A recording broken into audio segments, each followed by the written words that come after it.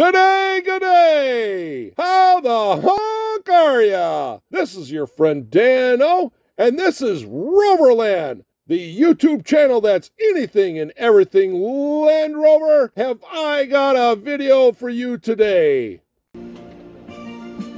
All right, all right, all right. Hey, welcome. Yeah, we're gonna take a look at uh, the uh, new Hot Wheels 2021, the uh, Range Rover Classic. Uh, we're gonna take a look at that, and we're gonna compare it to uh, the old uh, Matchbox Range Rover. All right, let's take a look at that. That's kind of a um, comparison of what the new Range Rover Classic looks like brand new from Hot Wheels. Let's take a look at the back there. Yeah, the car for all reasons. I think it was the car for all seasons, really, is what uh, they originally uh, said. But uh, okay, okay. Well, anyway, let's get to it, and uh, we're going to open this up so we can take a look at it. Uh, I've got quite a few of these now, and so I'm just kind of feeling free to open these up, and I wanted to do a comparison of uh, what kind of relative size uh, details from Hot Wheels, the new Hot Wheels, to the old Land Rover from Matchbox. Now, this one is uh, the old uh, Roll-O-Matic metal on metal. This is uh, the only way, excuse me, this is the only way that um, Hot uh, Matchbox ever did the uh, Range Rover Land Rover, and uh, really kind of cool. Um, this is the number 20 Police Patrol. And now this one here, like I say, this one here is um, brand spanking new. So let's take a look here. Now there is, you can see a uh, bit of a size difference. Yeah, there's a bit of a size difference, but you can see that they still have, both of them have those veins up on the top of the roof, which are really kind of cool. They both have holes in the roof too. That's kind of funny. They had the old bubble uh, for the Roll-O-Matic part uh, for Matchbox. And then Hot Wheels, I don't know what they're going to do with that uh, hole, if they're going to put any kind of uh, police or ambulance. Oh, cheese balls. I just went and dropped that. Here we are. Luckily, I've got carpet on the floor nowadays. But anyway, um, so let's do uh, like uh, track here. Of course, uh, Hot Wheels is going to have Hot Wheels, but it's not kind of the uh, same kind of wheelbase. They're pretty much the same kind of wheelbase. The Matchbox is a little bit longer, uh, but uh, yeah, yeah, just kind of cool. Obviously, the Matchbox is a little bit bigger. We saw from the top view, but uh, from the back view, yeah, they just a little bit. looks like uh, from the front door to the fender, uh, from the wheel well, front door to the wheel well is a little bit longer than uh, the uh, the uh, Hot Wheels one. Is that's kind of where I think the length comes from, but nice. Um, details on the back there, you know, that last pillar has got the signature uh, vent, which, you know, never really worked. Obviously, the uh, Matchbox had windows in that uh, last compartment where Hot Wheels has kind of made it a uh, uh, commercial type uh, vehicle.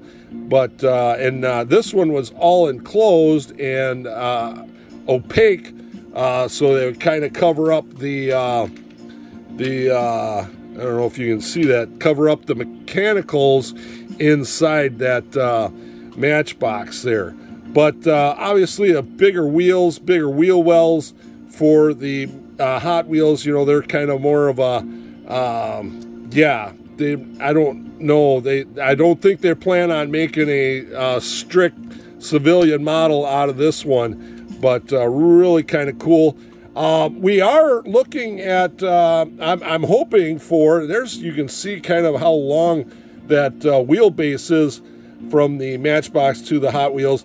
I am hoping that um, the Hot Wheels does do a premium metal base, metal body with real riders on this one. I don't know how they would uh, uh, you know, market that. I know with the Hot Wheels Defender 90, they did it with the uh, Fast and the Furious, which was awesome. But uh, so right now it's just a plastic base uh, and stuff like that. But still, the same kind of uh, stuff, you know, a little bit. I, I don't know. It would say that the the Hot Wheels, you know, of course, this is like, oh man, over 20 years old, probably at least 20 years old, and uh, modern day uh, uh, CAD and uh, uh, production from making it from a real one to a toy. The process is a lot easier with computers, so they were able to cut pretty good um, depiction of you know like the the wiper there. Um, which that wiper is that correct or did it come from the bottom no i think it came from the top because the tailgates that was always a problem those aluminum tailgates always were rusting out on the range rover classic yeah that's a uh, there's actually companies now that uh, go ahead and produce rear replacement tailgate uh, windows for them now because they were just such a um, troublesome thing you know uh, all the dirt and everything and salt would collect from the back of the vehicle. But uh, really kind of cool there, like I say. Uh, 20 years plus uh, uh re re um, uh, doing them, you know, you really get more details. But the details are still there for Matchbox. I mean, they they did their their work and everything. Um, now the Matchbox has more of a um, correct grill you know, with the slats going vertical, where Hot Wheels, uh, they didn't do their homework so well. Those should be vertical grill uh, slats, shouldn't they? Yeah, it should be. But uh, otherwise, you know, uh, they've got the turn signals still there. Now, this and the Hot Wheels is uh, part of the base, you know, the plastic, uh, which is kind of ingenious, but, you know, it, it's, it's still there.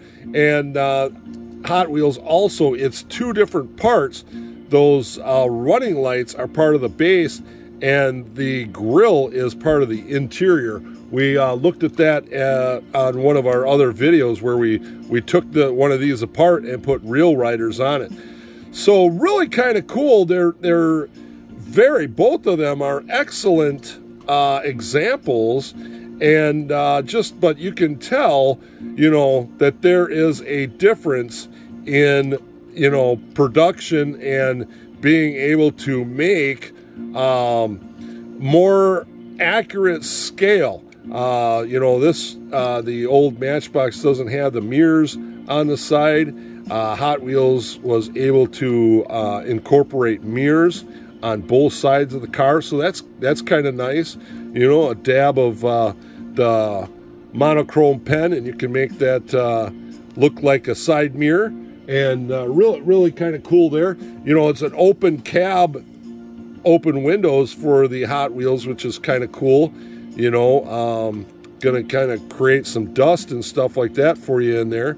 But uh, wipers on the front windshield still. I love the uh, the old clam clam um, hood. It's got the vent. They both have that vent. Uh, it seems like the Hot Wheels and with the modern, more modern uh, die-cast casting, they were able to put a little bit more details in that hood vent uh, up on the front there uh, by the windshield. It's, it's nice, it's accurate, but the Hot Wheels was able to get a little bit more uh, details, even though it is a smaller unit. Yeah, just it, it is a smaller unit. They are uh, just about, yeah, look at there. I mean, that that's quite a bit of difference there, that, you know, in, in width and in length. Like I say, um, I I don't know when you, you when you shrink them down this size, you know, it's hard to say. Is that more accurate? That that uh, from the front door to the fender is that more accurate, or is this uh, a little bit more accurate?